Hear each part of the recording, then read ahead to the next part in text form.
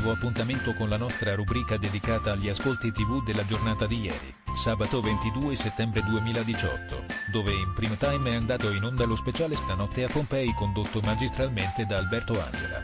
Su Canale 5 Invece, è andato in onda il concerto speciale di Laura Pausini dal Circo Massimo, registrato quest'estate a Roma mentre su Rai 2 proseguono gli appuntamenti con la pallavolo, video virgola volano gli ascolti di stanotte a Pompei con Alberto Angela che arriva al 24% di share il verdetto Auditel di ieri 22 settembre rivela che ad avere la meglio in prime time è stato Alberto Angela con lo speciale stanotte a Pompei che ha letteralmente stravolto il concerto flop di Laura Pausini.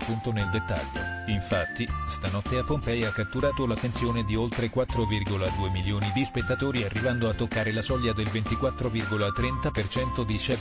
Numeri da record per la prima serata di Rai 1 che quest'anno potrebbe dare del filo da torcere al fortissimo Tusicu e Vales condotto da Belen Rodriguez su Canale 5. Punto dalla prossima settimana, infatti, Alberto Angela sarà ancora su Rai 1 con la nuova edizione di Ulisse, il programma di divulgazione scientifica che passa dalla prima serata di Rai 3 a quella di Rai 1.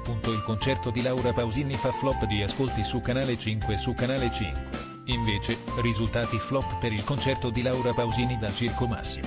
Lo show ha raccolto una media di appena 1,5 milioni di spettatori, fermandosi all'8,80% di share numeri decisamente bassi per la prima serata della rete ammiraglia Mediaset e infatti lo show della cantante romagnola è stato doppiato anche dalla pallavolo che su Rai 2 ha toccato il record dei 3 milioni di spettatori arrivando al 16% di share. In daytime. Invece, record di ascolti per la trasmissione Verissimo condotta da Silvia Toffanin, che ieri pomeriggio ha ospitato in esclusiva Lori del Santo, video, la quale per la prima volta ha parlato della morte di suo figlio.